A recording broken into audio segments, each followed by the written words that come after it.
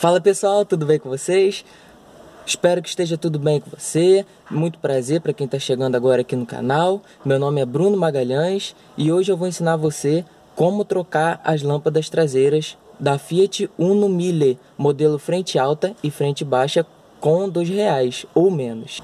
Aproveitando o ensejo, peço para que você clique no sininho, se inscreva no canal, compartilhe o vídeo e comente também para que a gente mantenha essa proximidade. Valeu, galera? Um abraço aí para vocês e bora pro vídeo.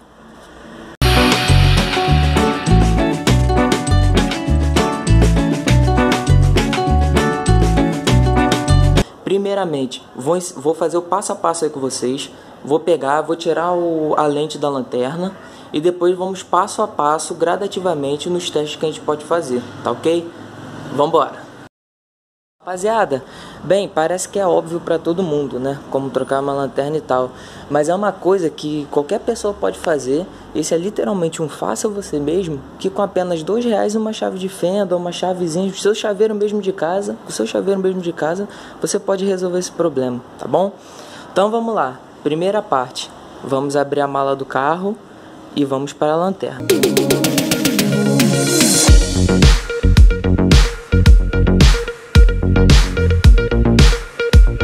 Bem, pessoal, como vocês podem ver aqui, ó, a lanterna traseira da Uno, ela tem esse, essas duas rebarbazinhas aqui, ó.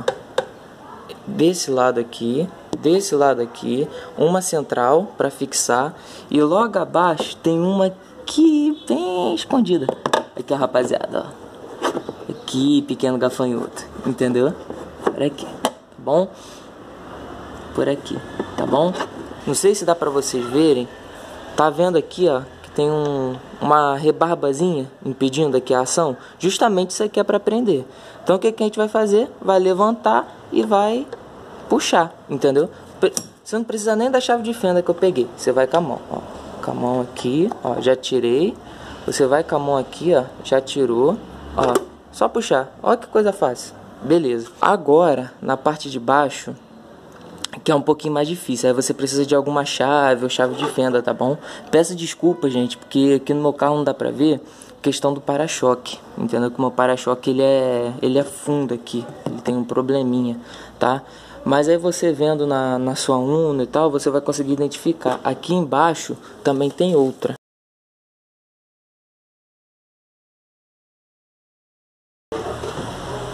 Tá vendo, pessoal? Só puxar. Tá aqui é, essa aqui é a, é a, parte toda né, do soquete da, da lanterna. Né? A luz de seta é essa, essa daqui é a luz de ré, essa daqui é a luz da lanterna e essa daqui é a luz de freio. Não, minto, contrário. Essa aqui é a luz de freio e essa aqui é a luz da lanterna. Aí vamos dizer que você não sabe que a sua lanterna tá se sua lanterna está funcionando ou não e alguém lhe avisou. Fala, ah, a luz de seta não está funcionando. Muito fácil vai fazer, vai, vai, você já sabe que não está funcionando, vai trocar. Agora, para você ver sozinho, como é que vai funcionar? Automaticamente, lá no painel, o carro ele geralmente tem uma velocidade quando você acende o pisca, fica tec, tec, tec, tec, tec.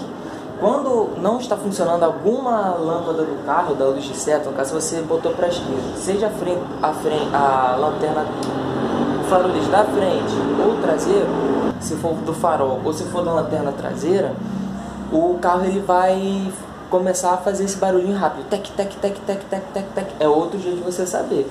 Ou, pessoal, assim, você tem um amigo, você tem um pai, tem uma mãe, é uma coisa estética e visual. Ah, não sei o que, não sei se está funcionando. Vai lá para frente do carro, senta lá, liga as setas, pisa no freio, engata ré, pode engatar ré com o carro desligado, que a lâmpada já vai ligar automaticamente, tá bom? Então vamos ao que interessa, passo a passo. Tiramos, tiramos o, a lente, né? Essa lentezinha daqui do, do carro. Tirando a lente, digamos que essa lanterna aqui traseira esquerda, luz de seta esquerda, não está funcionando, certo? O que, que eu vou fazer? Vou chegar lá na frente, vou clicar no, no alerta. Um carro mesmo desligado, que o carro da Fiat funciona, a parte elétrica, com o carro desligado, tá bom? Então vou chegar lá, vou clicar no alerta. Clicando no alerta, obviamente aqui não vai funcionar. Já testei e tal, não está funcionando. Vou lá, vou clicar de novo. Vou desligar. Vou fazer isso aqui, ó. Não sei se dá pra vocês verem. Então, rapaziada, vocês vão pegar, ó, se vocês não, não perceberam, vocês vão pegar essa partezinha aqui, tá vendo? Ela é de rosca. Vocês vão pegar, vão enroscar pra direita e vão subir. É muito simples, ó. Clique, subiu. Pronto. Essa lâmpada aqui, ó, pra, caso vocês não tenham muita noção, é lâmpada de um polo apenas. O que, que vocês vão fazer? Vão pegar, vão deixar ela guardadinha aqui, vão fazer um teste. Até porque dinheiro não é capim, né, rapaziada? E é bom sempre fazer um teste, antes de tudo. Ó, você vai pegar a luz de ré, vai fazer a mesma coisa. Cheio pra cima, certo? Tá aqui. Ó, tá vendo esse, essa bolinha aqui? Você vai colocar a bolinha aqui alinhada, ó, tá vendo? Vai chegar, vai fazer o contrário. Simples assim. Vai chegar lá, vai testar. Lá na frente vai ligar o alerta. Tá vendo que tá funcionando? Olha lá. Ambas estão funcionando. Então, graças a Deus, não é o circuito, porque pode ser um problema no circuito, entendeu, rapaziada? Então, assim, como o dinheiro não é capim, né? E e pode ser que seja algum outro problema é bom você testar antes. Pega uma outra lâmpada, coloca ali para ver. Se de repente é, aqui, é a parte aqui do conector aqui do soquetezinho, pode ter algum problema aí no meio disso tudo, tá bom? Às vezes, dependendo do que for, vocês coloquem WD-40 aqui, ó, nessa partezinha, tá vendo? Isso aqui também vai ajudar, são os conectores, são os fios todos, né? No caso da lanterna aqui do carro, entendeu?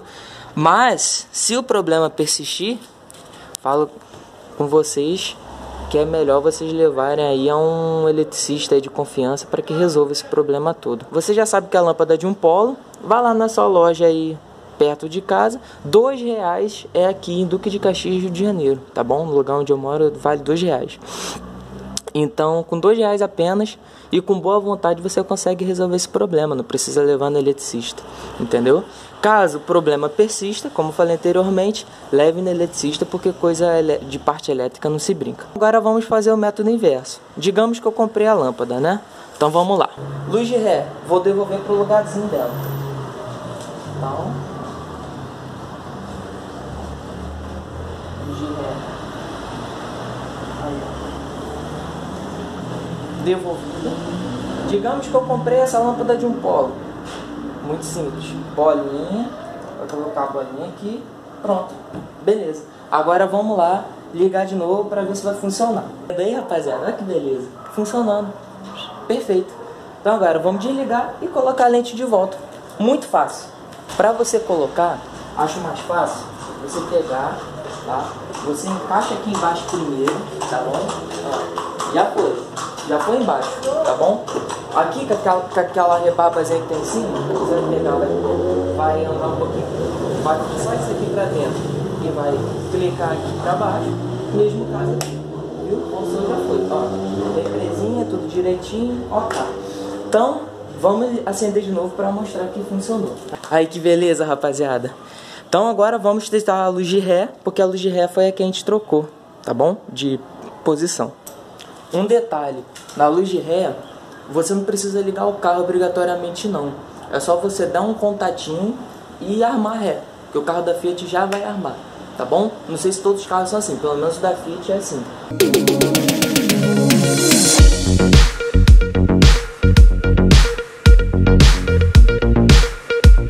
É, rapaziada, deu ruim. Não acendeu, tá vendo?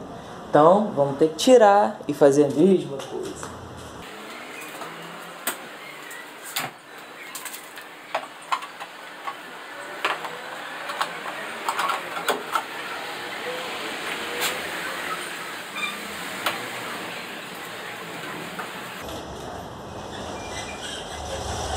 Estão vendo?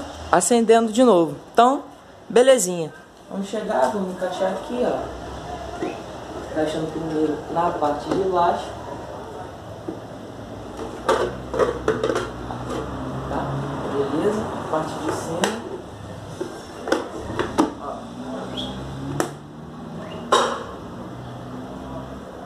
Beleza. Tudo certinho. Funcionando direitinho o carro, tá bom? Aproveitar Pisa na luz de freio também, já faz logo uma regulagem total aí de tudo, tá bom? Vou ligar a lanterna vou pisar na luz de freio. Luz de lanterna, tá vendo? Acendendo. Vou pisar no freio agora.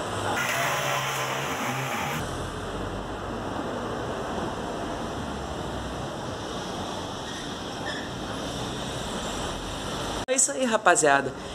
Ah, e agradeço pela sua atenção. Espero que você tenha gostado do vídeo, que o vídeo tenha sido bem instrutivo para você, né? E que lhe ajude aí também, tá bom? Com apenas dois reais ou menos você consegue resolver esse problema aí das, das lâmpadas traseiras do carro, tá bom? Muito fácil, muito simples. Basta ter uma chavinha para botar ali embaixo. Valeu? Espero que você goste. Mais uma vez, se você puder se inscrever no canal, compartilhar e comentar para que possa trazer novos vídeos, novos temas aqui para vocês, eu vos agradeço, tá bom? Muito obrigado e até a próxima. Valeu!